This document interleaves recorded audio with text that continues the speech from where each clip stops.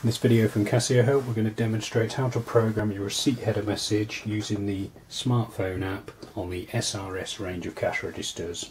This video presumes that you've already downloaded the app and paired your phone with your register.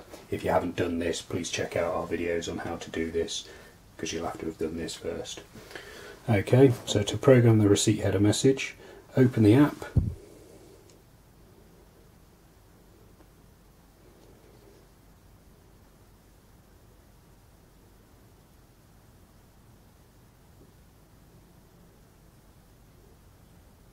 Then go into cash register settings.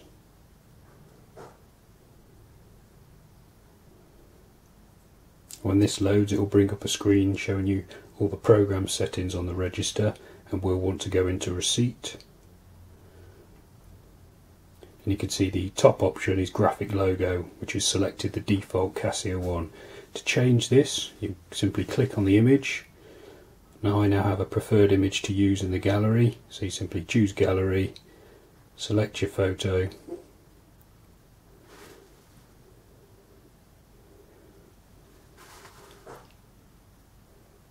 and confirm.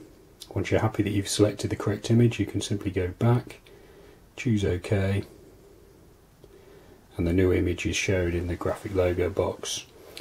You can also have a commercial message which it'll appear immediately under your graphic message, your graphic logo.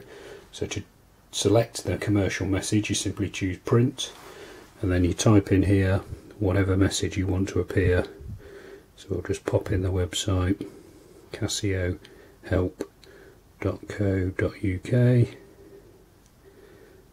You can have up to four lines on the commercial message so you may want to pop in your VAT number, phone number.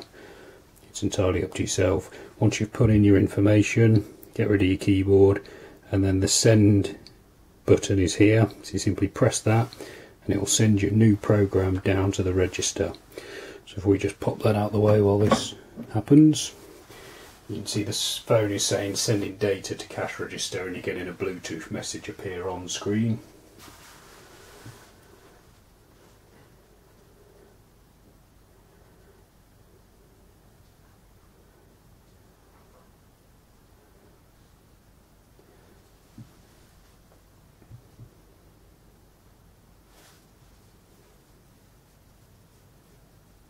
operation completed so you simply press OK and then if we pop a sale through the till now you should find the till receipt as your new logo and your new commercial message.